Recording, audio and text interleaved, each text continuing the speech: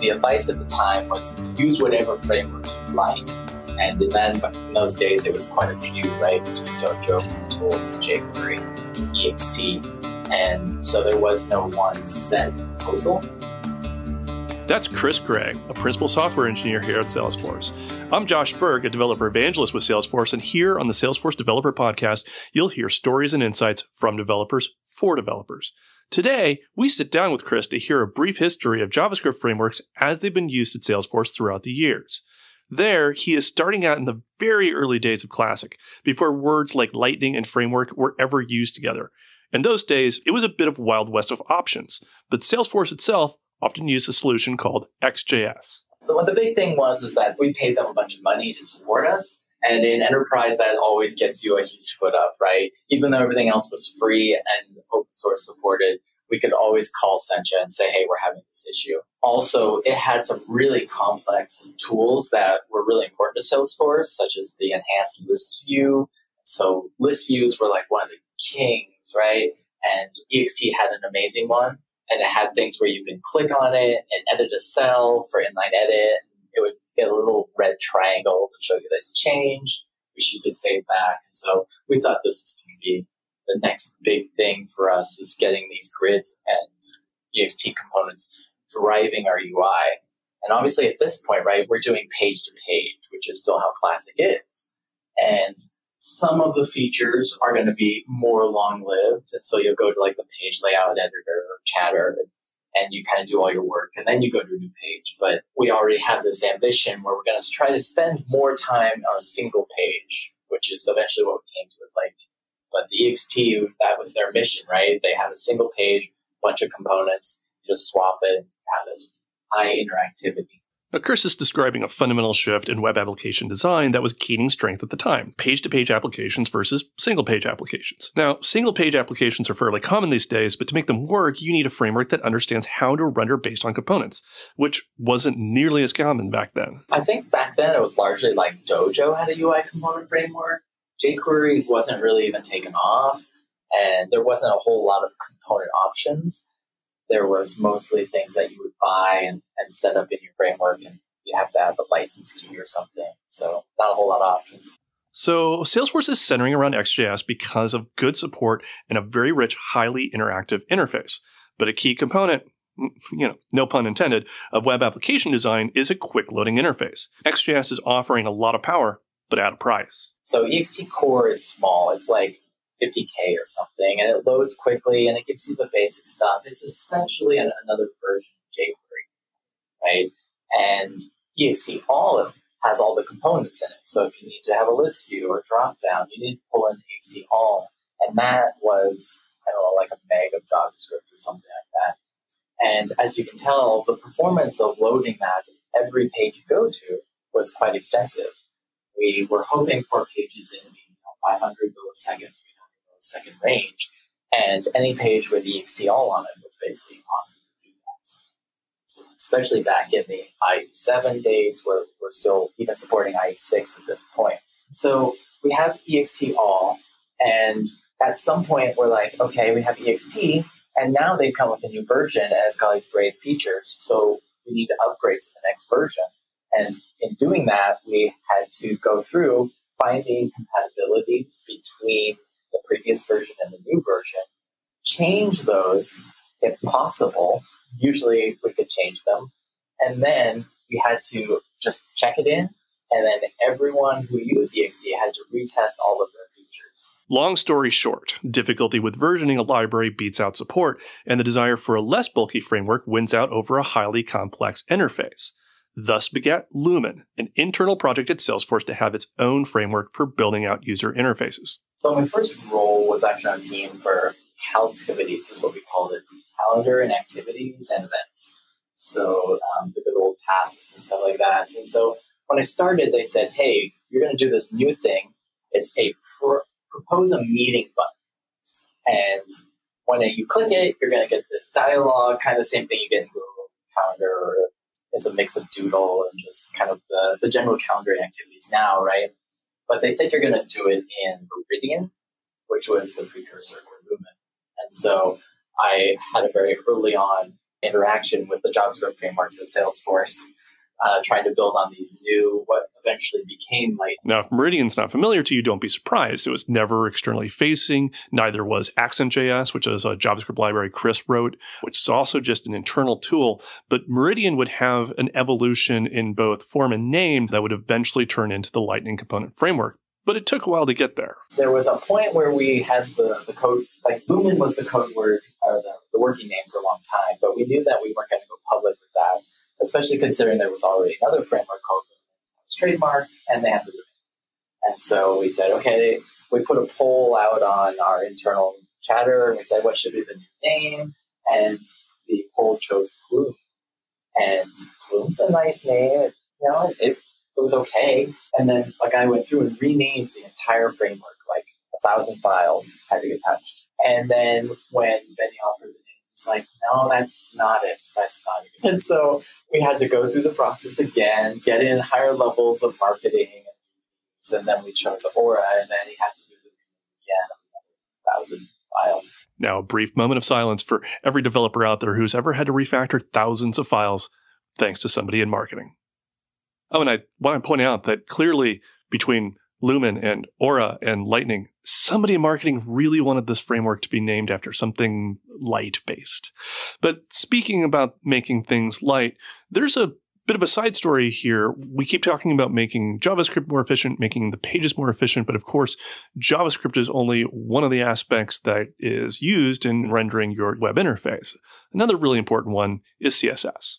We hired this other evangelist, uh, Nicole Sullivan, who at this point is writing OOCSS, and she's kind of selling these concepts that we need to be writing CSS this way. The tag, these class names that are utilities should be going to classes.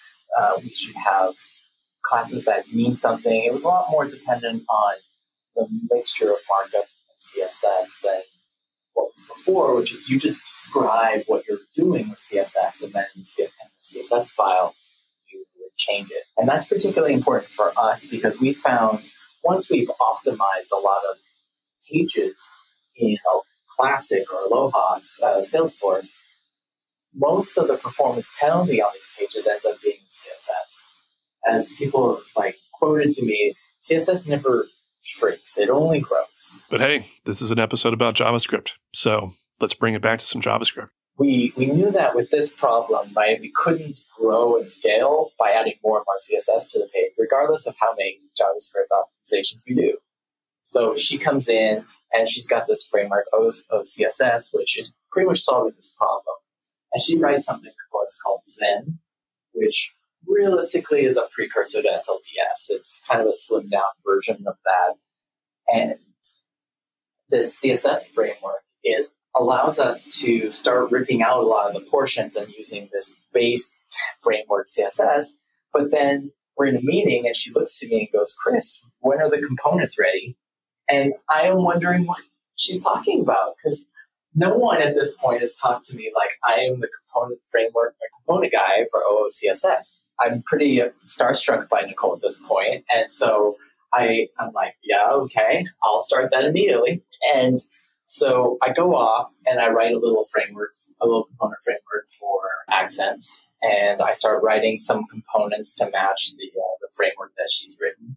And so at that point, we have a few things like a drop down, maybe some buttons, uh, a, a bubble hover kind of thing for this uh, framework. And using those, like this little accent framework and this little component framework, the CSS or Zen, we're able to like start migrating Salesforce towards the standards and light CSS frameworks and really get it really performance. Now, that phrase of trying to get Salesforce onto the standards, it's, it's, really important for what's happening with JavaScript frameworks at the time. You can kind of see a consistent theme here of less being more, but that less is dependent on the browsers being able to do things for themselves, things like event handling and understand how the components are actually being rendered. And so as the standards are changing, Salesforce is also still trying to get its own component framework up and running. And so here we have Aura as kind of this next generation Visualforce replacement, while at the same time, we're trying to keep up with those standards.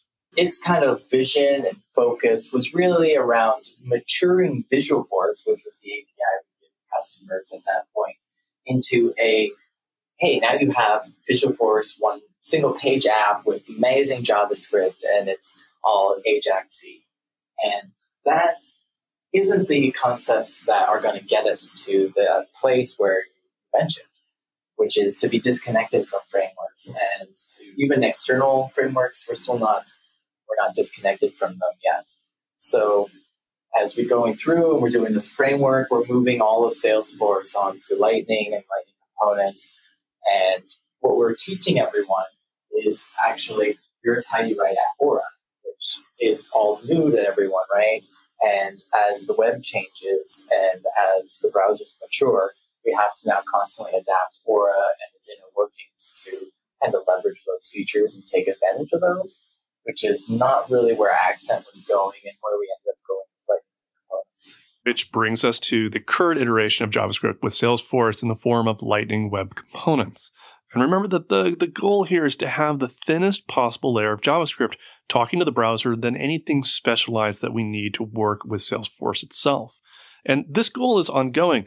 And remember, it's, it's kind of in this conflict zone of trying to work with browser compatibility slash incompatibilities and still changing standards. Well, we're starting to get now the benefits from them in just the frameworks that we're developing. And then if we need something uh, particularly important to Salesforce, it's just security, right? We can't have you running your component next to a credit card author and having his component page in the same DOM, because then you can just reach over and grab that information using your component. Well, we need that. That's with, without that, Salesforce can't do its platform, customize it, install packages, and so we we have to support some uh, Lightning Locker to do that. But Lightning Locker obviously needs to be watching everything that you do. It's going to uh, inspect all the APIs and make sure that you only have access to the properties that are exposed and the DOM elements you created. And that was obviously very expensive. But if we can encourage the, the web standards to that this is important for the web, that they should move in this direction, at some point it'll just become a browser feature. And we can just put an attribute on the page, remove Lightning Locker, and we're done. And that's our show. In under 15 minutes, Kris and I have given you a brief history of JavaScript frameworks with Salesforce. Now, I also want to just tack on a quick epilogue here because it occurred to me while talking to Kris that every chapter in this story is built on good intentions. They were all trying to solve a problem they're having at the time. So XJS, I'm sorry, I also should point out, I keep saying XJS. Kris kept saying yeah, EXT. In the Accenture community, there's a little bit of a disagreement as to which is the appropriate pronunciation of XJS. Kris is definitely more of a JavaScript expert than I am, so I will concede to his pronunciation. Unfortunately, it's just sort of an old habit of mine. But getting back to XJS, it was designed to try to solve the problem of the wild west of frameworks. Everybody using Dojo or jQuery or trying to pick all of these things uh, to pick a good horse that was going to be robust and interactive for Salesforce users.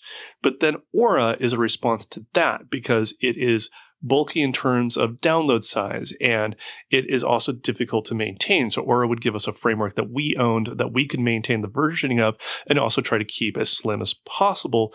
But then in response to Aura, we have Lightning Web Components so that Salesforce can start leaning and using the power and the efficiency of pure web standards. And so all of these solutions are trying to solve the problems that came before them. And it's important to point out this is complex because many of these problems are occurring in parallel. They're occurring at the same time. And so there's definitely some overlap that's going on here. And because of that, there are a lot of different events and a lot of different people who have been involved in this journey along the way. And we will definitely try to get those people interviewed for you on the podcast.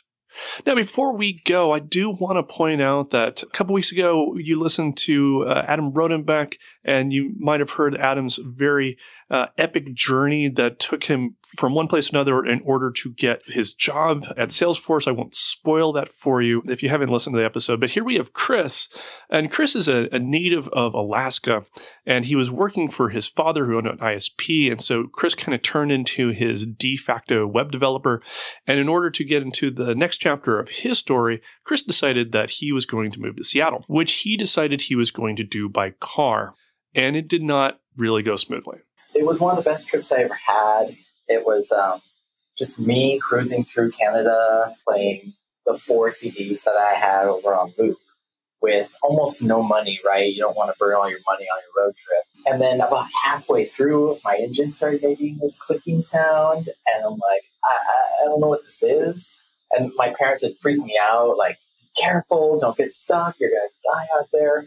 And so I'm like, all I'm doing is like, okay, I'll just give them more oil. So I just start throwing more oil in there. And eventually it kind of works. The, the sound stops making such a loud sound. It ended up dying about three days after I got to Seattle. The timing chain broke, and I, that's much worse than the timing belt. It's like a couple thousand dollar fix or something. So I, I got lucky because otherwise I was stuck in Canada.